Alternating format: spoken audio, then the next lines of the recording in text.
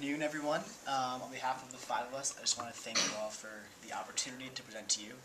Um, as you know, uh, this is our practicum presentation. So for the past eight weeks, we've been working on this culminating project for our senior, uh, our senior year in the public policy program. Um, we'll all be graduating. Um, Daniel, sorry, will be uh, returning next year as a co-term. Um, so very quickly before we get started, I want to introduce ourselves. Uh, my name is Hunter Kodama. Uh, this is Daniel Tublin, Chris Baldock, Mary Bass, and Hannah Kauffman. Uh, and this has been the team uh, working this quarter. Um, so, jumping right into it. First, a little note about our clients. Um, when I say clients with an S, because um, we had a very unique opportunity this year, uh, this quarter, to work with actually two clients who are collaborating on an issue. Um, so the clients were the City of San Jose and the County of Santa Clara. Um, specifically, we've been working with the Director of Housing, uh, as well as the County uh, Director of Housing for Santa Clara, uh, as well as the Chief Operating Officer for the county offices of, of Santa, Santa Clara. Um, it's, it's a very unique situation because, as Russ noted a few times throughout the quarter, uh, the two don't often, don't not not often, don't always get along and often have conflict between them.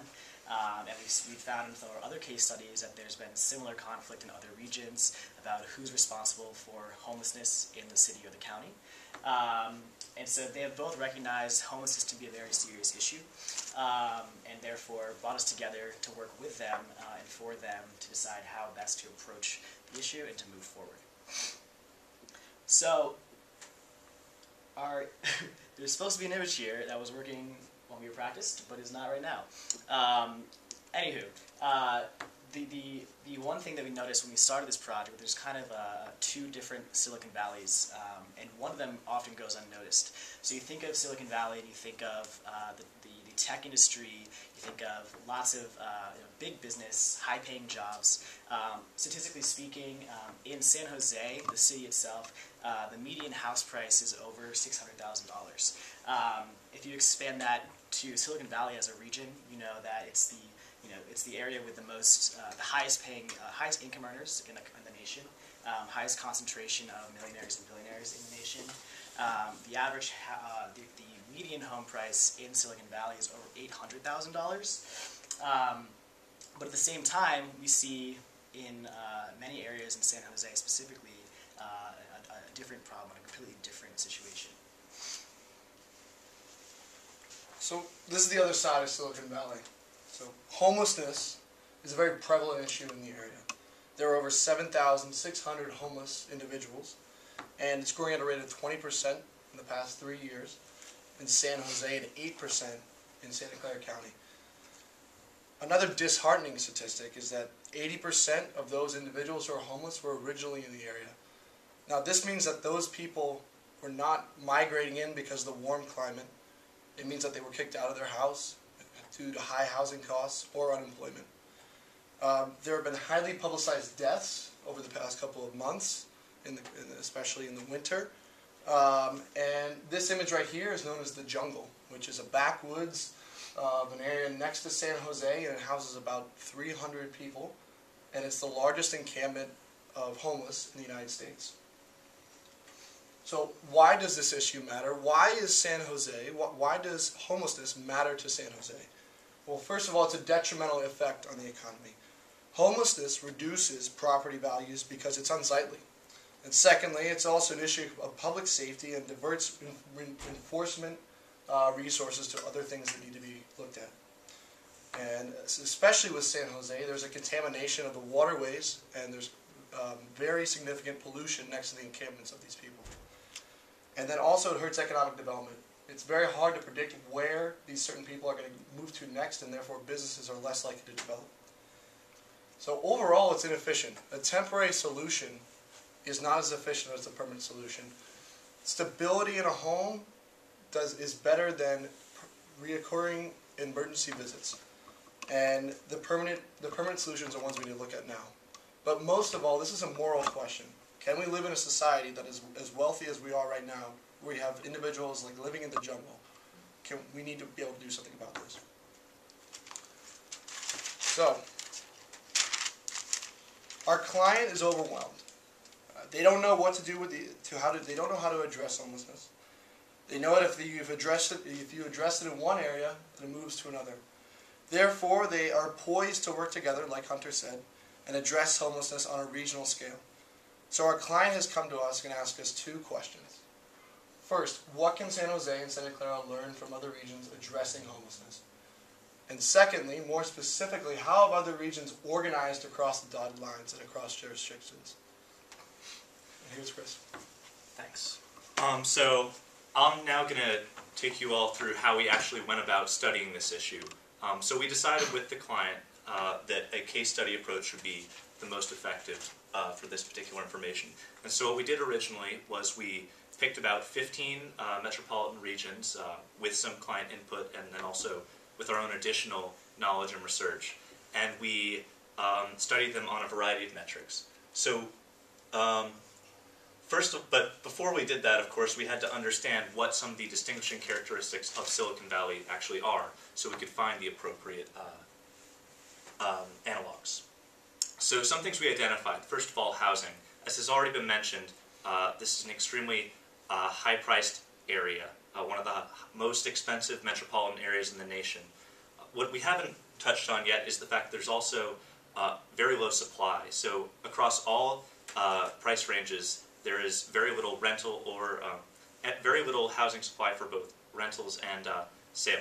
And this is especially prevalent at the low at the lower levels of pricing. Uh, a second distinguishing aspect we wanted to uh, keep in mind was the fact that Silicon Valley's homeless population is growing. Furthermore, it's a highly unsheltered population. Almost 75% of all homeless in Silicon Valley do not have access to shelter, and by that I mean they don't have access to emergency shelters or to transitional housing or to permanent supportive housing. And that's extremely high, much higher than most other areas in the country. Um, it's also, sorry, I forgot to mention, there's also a significant subpopulation of veterans. And uh, you see other, that was something we wanted to keep in mind because other areas that have struggled with the veteran population um, or have a large veteran population might be better analogs uh, when we're actually studying the issue. And a, a, final point I'd like to bring up is the political structure uh, in this region. Silicon Valley uh, actually make, or is made up of four counties. It's a very fragmented structure. There's no dominant player in the region for this issue. Um, and that's particularly important because homelessness is an issue without boundaries. There, homeless uh, individuals can move across uh, town lines, across county lines. Um, and so without a comprehensive regional approach, it's very hard to uh, effectively address it. Furthermore, uh, Santa Clara County in particular has the interesting characteristic whereby San Jose makes up more than half the county. It's a city of over a million people. Um, it's the 10th largest city in the U.S., in fact. Um, but it's surrounded by many other smaller cities. And so this makes for a very interesting power structure in terms of resources, in terms of political will, um, and creates a lot of the tensions that we currently see. So what this all means, of course, is that we need to find the regions that best uh, fit uh, Silicon, Silicon Valley's uh, distinguishing characteristics. So we created this big matrix, essentially, to try and make sense of all of this. And this is just a, a snapshot of part of it. And what I want to draw attention to is not the specific figures here, but just that we had sort of an analytical approach here, and we tried to really break it down and highlight some of the most important factors. As you can see, uh, median house price is one of those. Um, whether they actually had a committee that was dedicated to homelessness. These were a couple of the things that we wanted to keep in mind as we tried to find the best fits. And so after doing this for 15 regions, uh, we ended up settling on five different regions for case studies. Those are New York, uh, Seattle, San Diego, Honolulu, and the District of Columbia. Um, and so without further ado, I'm going to pass it off to Hannah to look at New York. Sure. So we're just going to go through briefly each of our case studies and give a brief overview of what we did and what we learned. So for New York, one of the reasons that we identified this as a promising comparison for um, San Jose and Santa Clara County is really that it's a high-cost area. But not only is it a high-cost area, but there's a lack of housing stock. A high population density in a, in a busy business district means that many people come to the area and this lack of housing has really driven up prices. And even among those who can who can find and afford housing, most over 55% of households are rent burdened, which means that they spend over 30% of their income on on housing. So what's really interesting about the homelessness, the homeless themselves, is that New York actually has the largest raw number of homeless in the United States at over 64,000. And this, and this number has been growing. The number of homeless has grown 73% since 2002, and even recently 11.5% since 2012.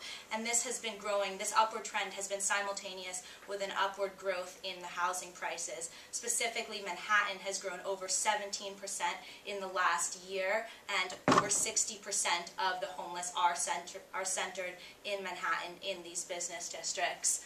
And so because of this lack of housing, what's happened is that the number of homeless has been on the has been seen on the streets, and so the shelter culture has been adapting to meet this this growing demand. And so instead of just becoming a place to sleep, shelters have now inc incorporated a education part, a, a aid for mental and physical disabilities, and on May 5th, 2014, Mayor Bill de Blasio actually announced a new plan entitled Housing New York, um, which is a 10-year plan for the city that was that's intends to create 200,000 new affordable housing units.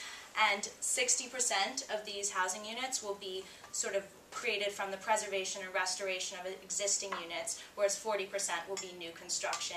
What makes this plan really interesting is that it's an attempt to actually focus on permanent affordable housing as opposed to just the historic focus on the, um, on the shelter system. And the city, state, and federal funds have committed um, $41.1 billion to this over the 10 years. And so now I just wanted to delve into a little bit of the structure of this plan specifically. Um, keep in mind that this isn't a intergovernmental structure. It is more of a plan, and these are the components of the plan um, that we put together into a structure. So New York City is really the drive, and specifically the mayor's office is the driving force of this plan.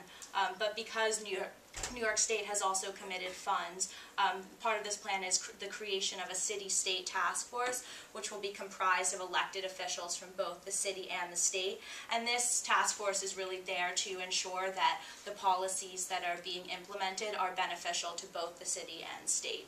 Um, and so from New York City, the other the other sort of big governing structure will be the City Implementation Advisory Board.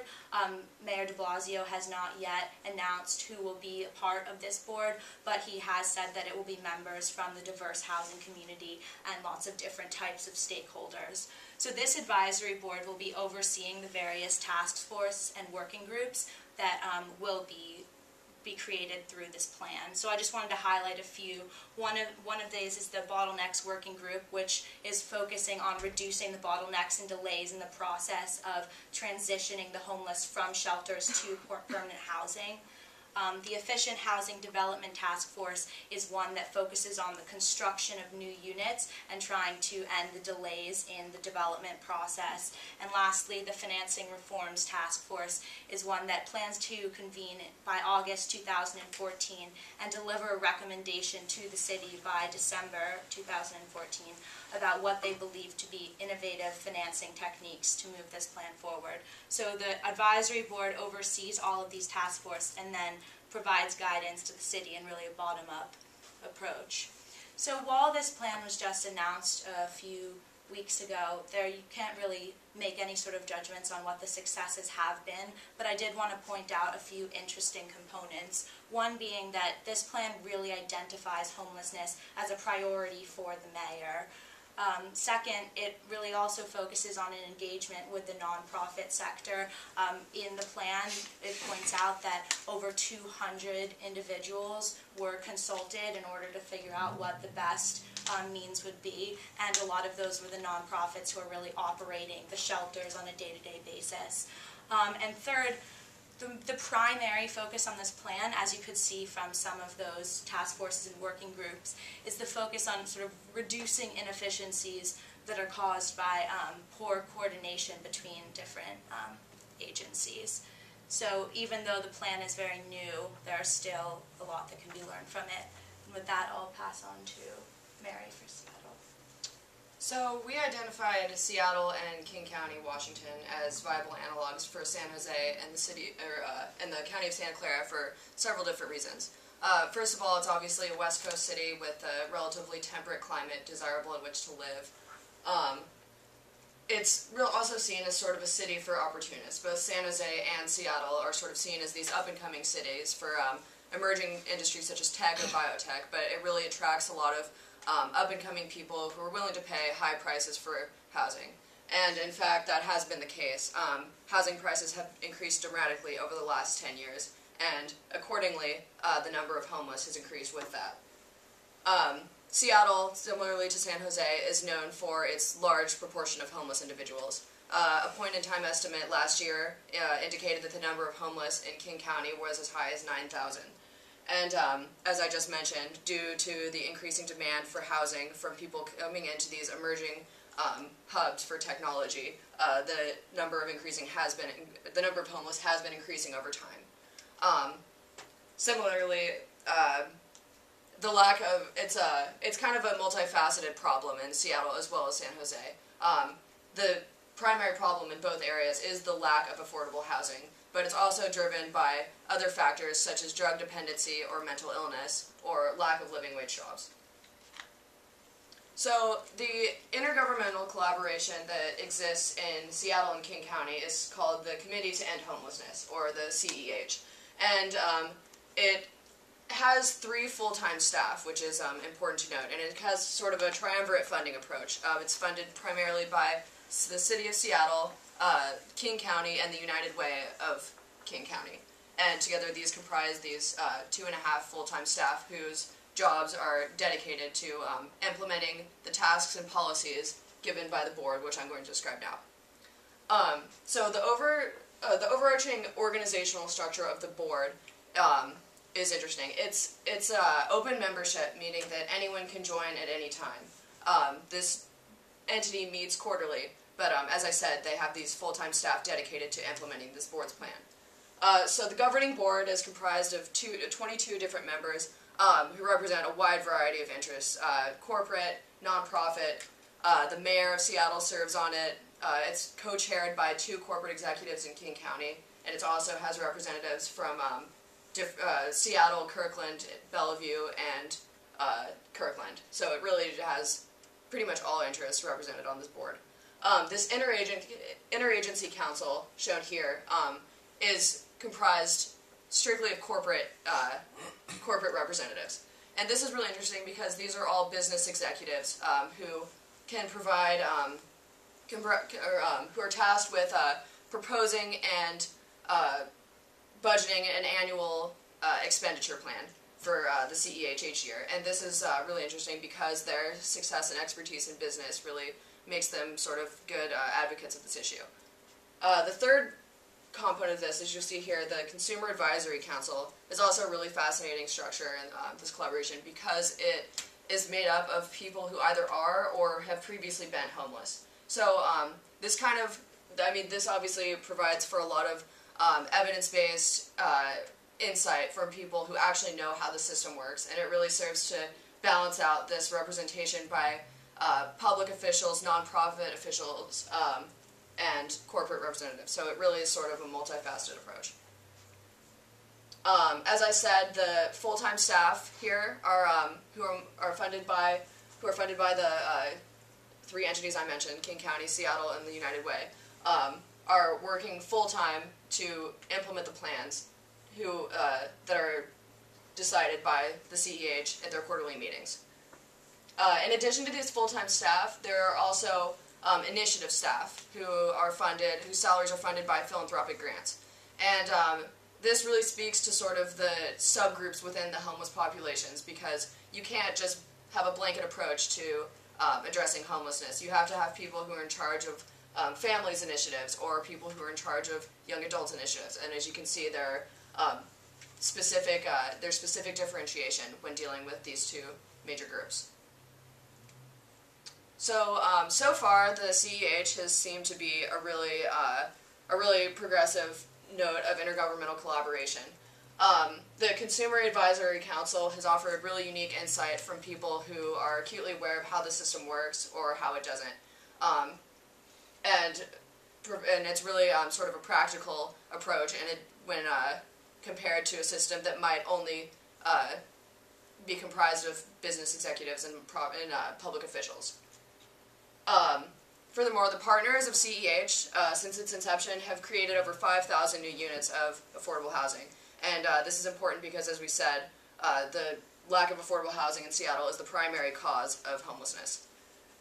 And uh, in 2011, uh, an important statistic to note is that over 4,000 people were able to leave homelessness. So that really speaks to this uh, movement toward a permanent solution to homelessness. So now I'm going to pass it off to Hunter. He's going to talk about San Diego. So there are a few trends emerging in terms of the, the cities that we that we chose. Um, part of that was um, intentional because in our, in our inter uh, intermediate meeting with the clients, uh, they really wanted us to focus on expensive areas because that's what they felt contributed a lot to San Jose's problem. Um, so some of the defining characteristics in San Diego uh, are similar. Um, it's very high cost, um, and one person, in the Housing Commission, mentioned that there's a, a gentrification happening right now, much like there is um, in San Francisco. Um, traditionally, a lot of the most affordable housing has been in the warehouse district in downtown San Diego. Uh, and in recent years, in the past decade, there's been a lot of redevelopment. So a lot of that um, that housing has been uh, torn down and replaced with a new stadium for the baseball team, uh, public parks that close after after dark, uh, and new high rises with high uh, high end luxury condominiums, uh, hotels, restaurants. Um, so a lot of that has that has displaced a lot of the homeless population. It's also warm weather, um, and in terms of population, uh, the county, not the city, um, is the fifth largest county in the United States. Um, the homelessness, as of the January 2014 point in time count, was just under uh, 9,000, uh, and the majority of that is in the city of San Diego proper. Um, additionally, there's a large naval presence, presence in uh, San Diego County, um, multiple bases around the area. Uh, and so, one one person I spoke with noted that a lot, a lot of times the uh, veterans, when they're discharged, fall into the homeless population because they don't make the money that's necessary to afford the rents uh, in San Diego. Uh, in addition, uh, I mean, they've been identified for fe- fe- special federal funding for veterans specifically, homeless veterans. Uh, but oftentimes, the vouchers that that um, the, the, that money comes in the form of special vouchers that have very strict requirements in terms of how long they've served, when they served. Um, they must be honorably discharged and must have more issues than just homelessness in order to qualify. So they've had trouble matching those vouchers to people who need them. Uh, so traditionally, they've always had a, a council, um, and it's an intergovernmental council. It's called the Regional Continuum of Care Council. Um, it's been around for 20 years, uh, but it's always been a, a kind of informal uh, agreement between all the entities. Uh, as you can see here, there is no direct line between the City of San Jose or the County of San Diego. Uh, within the county, housing, community development, and the city, the Housing Commission uh, provide most of the services for homeless. Um, and they sit on the board uh, for the Regional Continuum of Care Council, um, as well as you know, being some of the people who are implementing these initiatives. Uh, but there is no official, formal power, uh, authority, uh, or the ability to direct funds um, by the Continuum of Care Council.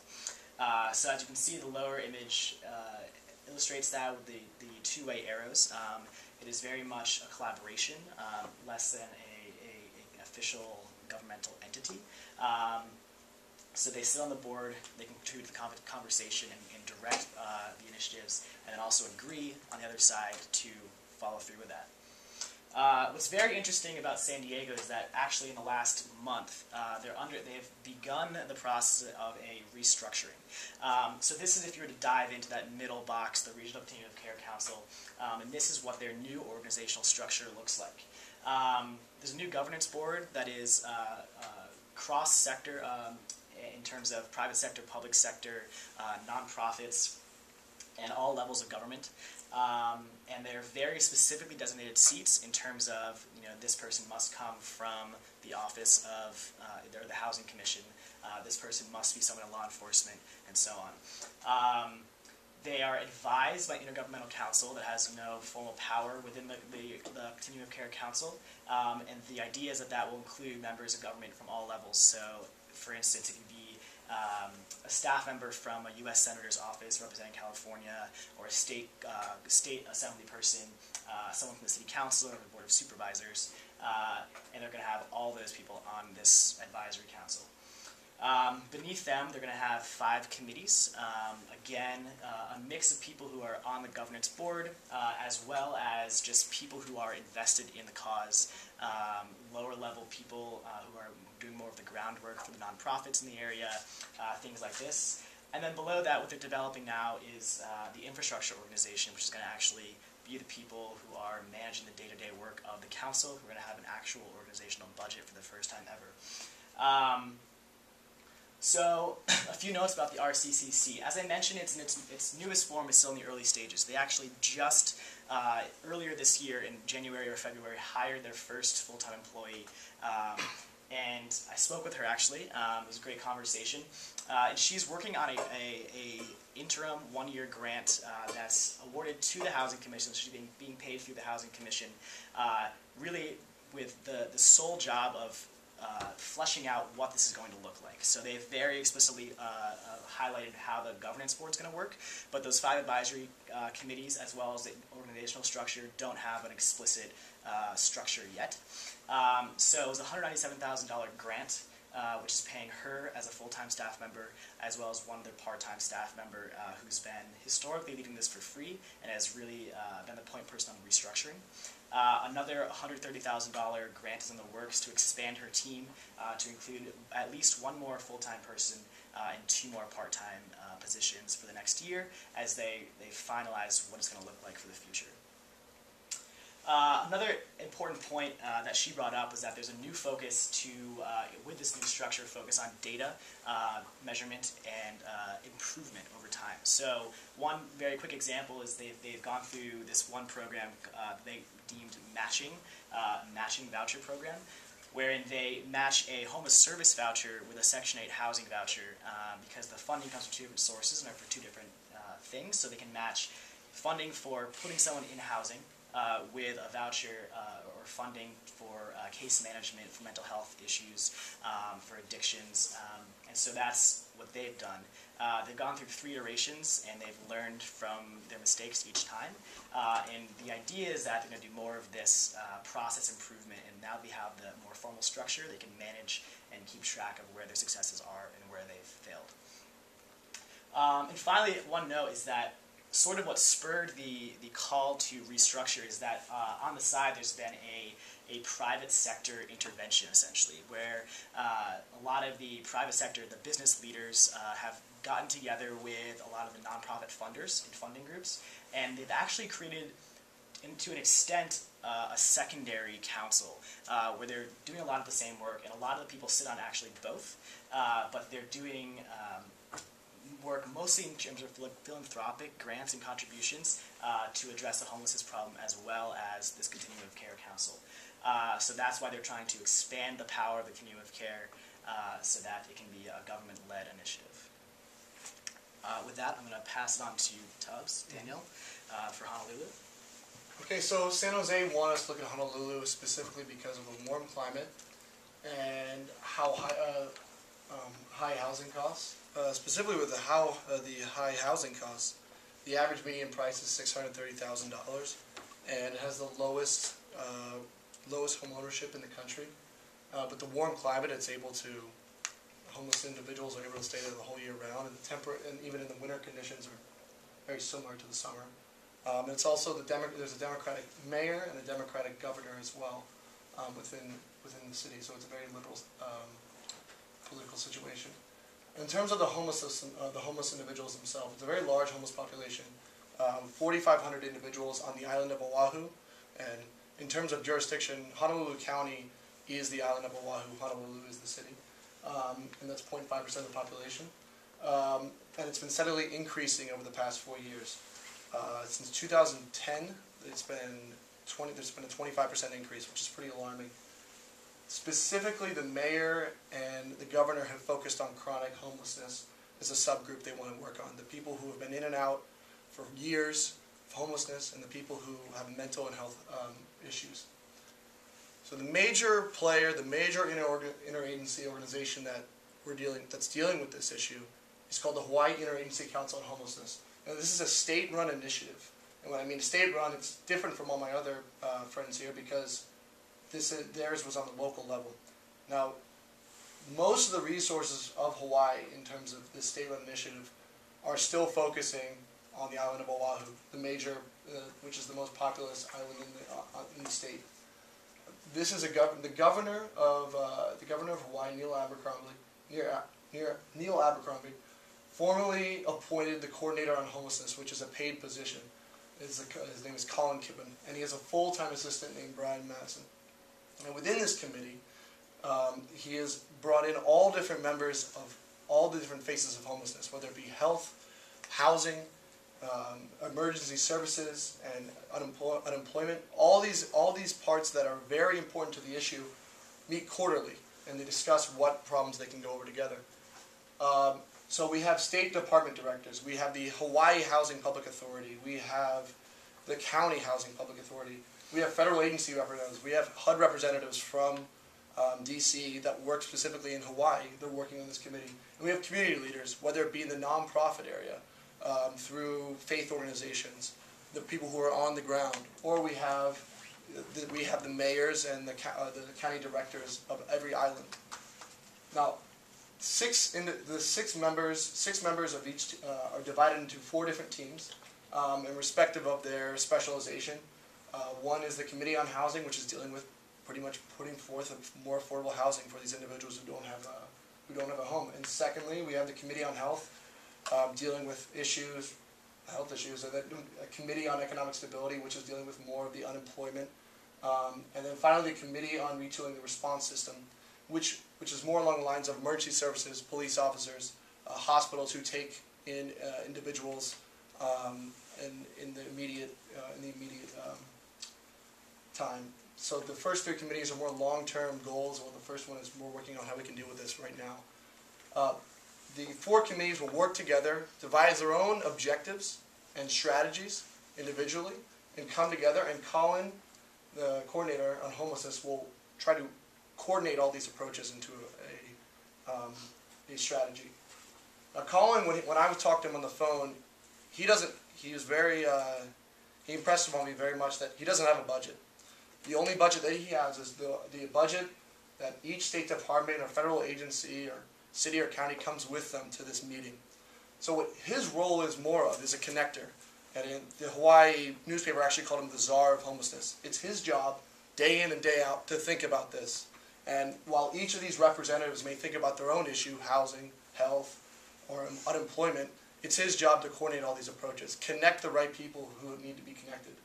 And Brian Matson, his full-time assistant, is not paid through the state. Just a side note, he's paid through a nonprofit organization, but he's very instrumental.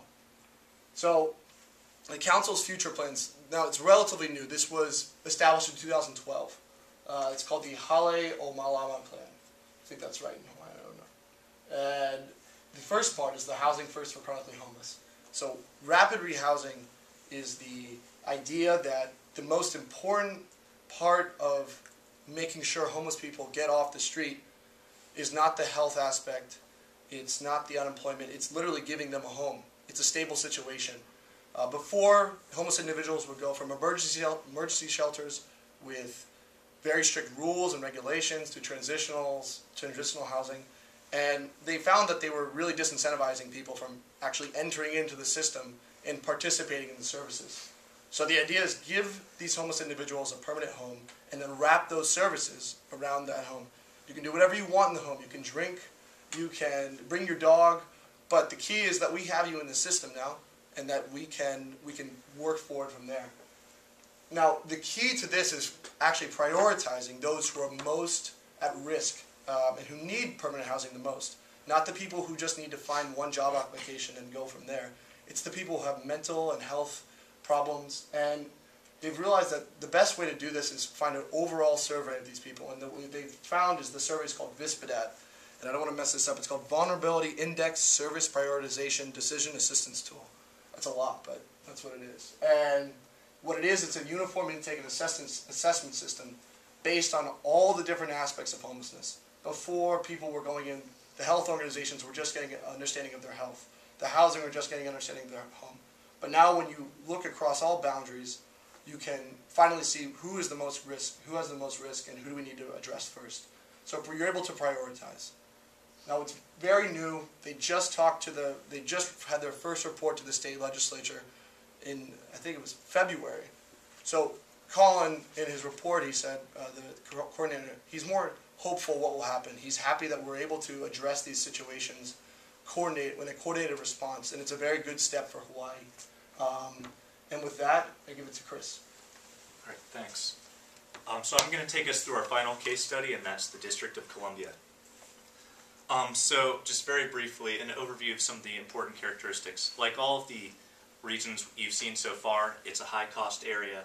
Um, one important thing to point out is it is jurisdictionally complex, and that's not simply because of the sheer number of jurisdictions surrounding it uh, between the municipalities and counties and states, but it's also because of its sort of unique status as a city that administers uh, federal programs like Medicaid.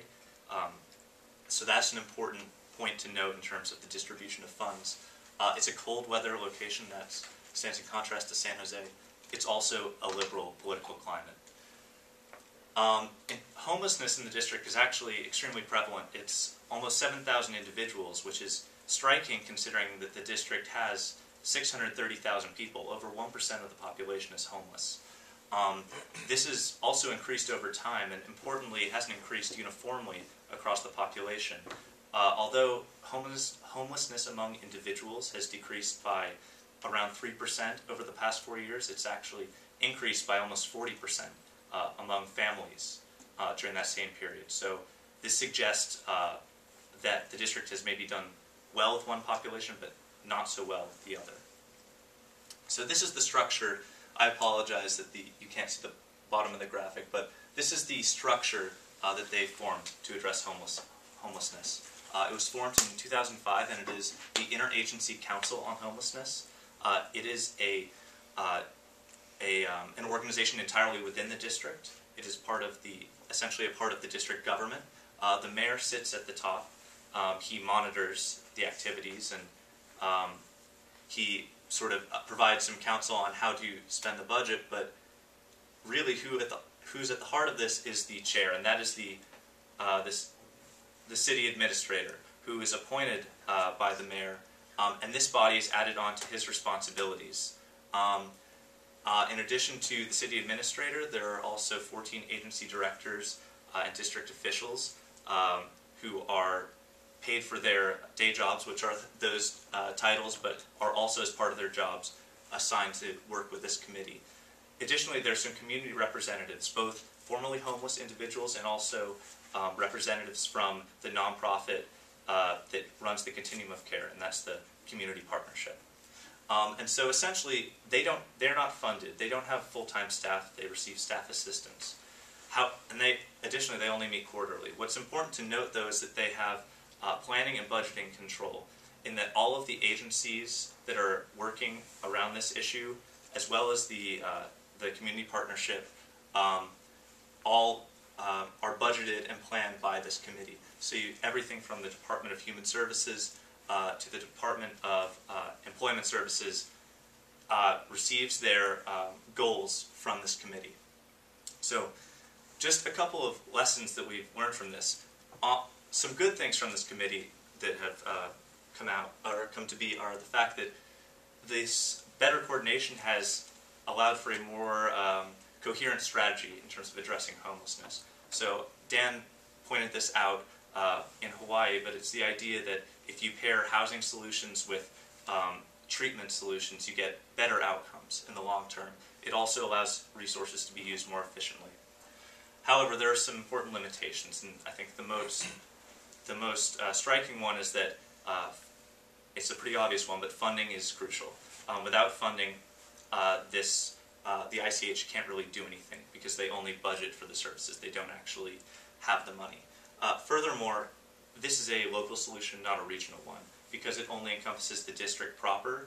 Um, it doesn't. It only affects homelessness within the boundaries of the district, and homelessness is a very fluid issue. So there's actually been a lot of antagonism uh, with uh, neighboring counties, particularly in Maryland, um, and that's really uh, inhibited better cooperation on this issue towards creating a regional solution. So now I'm going to hand it over to Mary. So I guess we're just going to talk about some of the uh, final observations that we have um, come up with throughout the last past uh, the last eight weeks of research. Uh, one important disclaimer that we need to um, emphasize is that these case studies that we performed were not done in a controlled laboratory setting. So therefore, we cannot and did not attempt to make any definitive causal statements. Um, we're not going to tell our clients, the San Jose, County of Santa Clara and San Jose, that if you do X, then you will get Y, because that's just impossible. You can't, there is no blanket strategy to properly address homelessness, because each specific region has uh, distinguishing characteristics that render some, um, some approaches effective and others not. So the first thing we want to talk about, as both of as many of us have uh, alluded to, is that the homelessness is not a blanket population. Um, there many subgroups that comprise the homeless, and uh, that varies for in each region. As you would imagine, uh, you can't have one strategy that um, is ad- that uh, addresses homelessness for the entire homeless population because there are um, different causes for homelessness. Uh, you can't have a the same strategy to address homelessness for veterans or runaways or families who have lost their housing due to increase in prices or people with substance abuse or people with mental illness.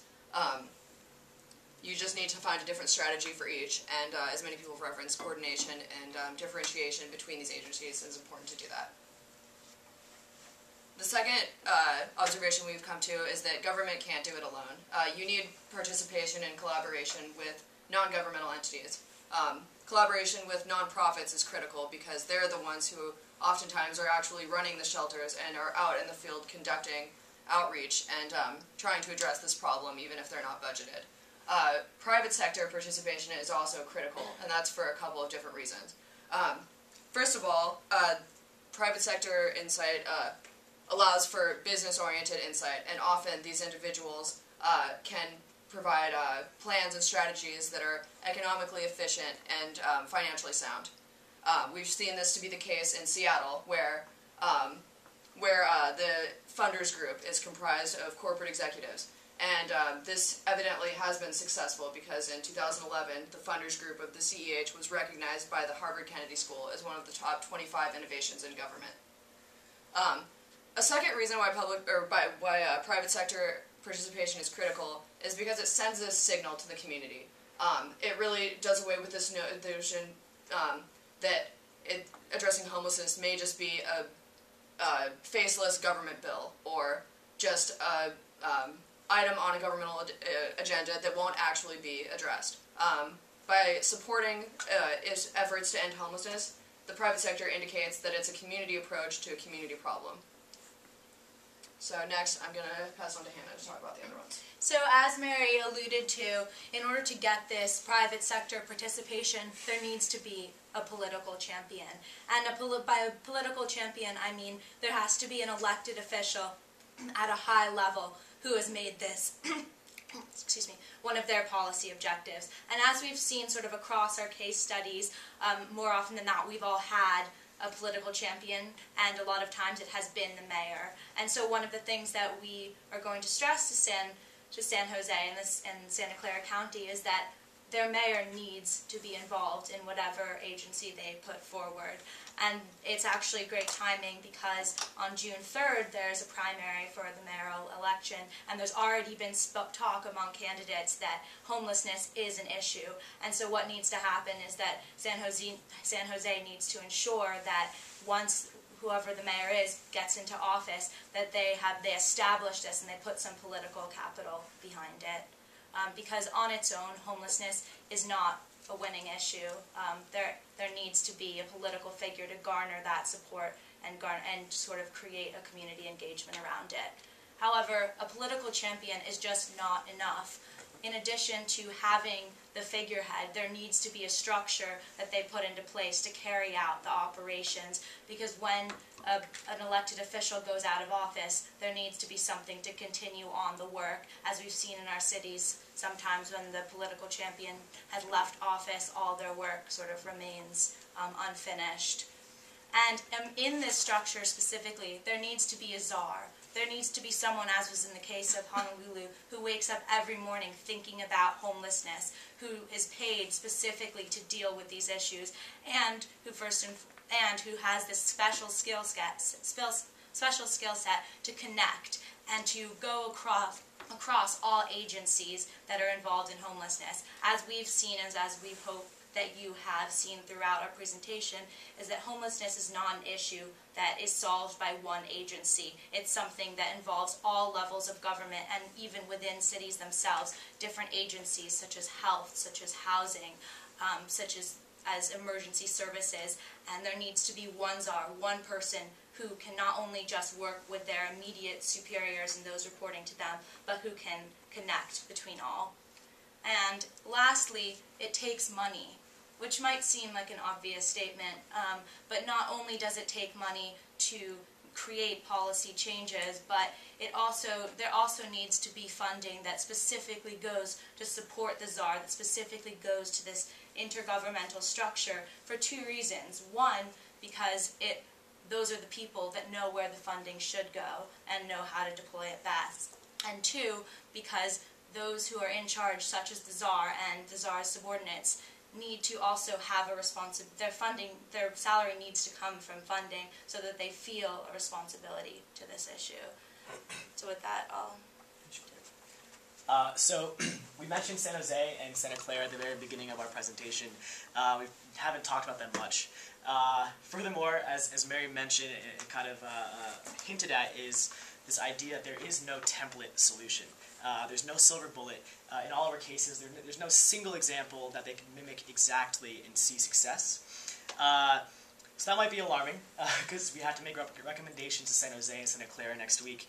Uh, but what we truly believe is that Santa Clara and San Jose are in a place where they can be the leaders uh, in making these changes and creating the best uh, intergovernmental collaboration among all the cities we've studied. Uh, we've outlined uh, the most important observations, the best practices that we've gleaned from all of our case studies, and we believe that if they take those best practices and apply them within our county or within their county, uh, they will be the ones to, uh, to have the most success addressing homelessness around Santa Clara County. Uh, so with that, I want to thank you and open up to any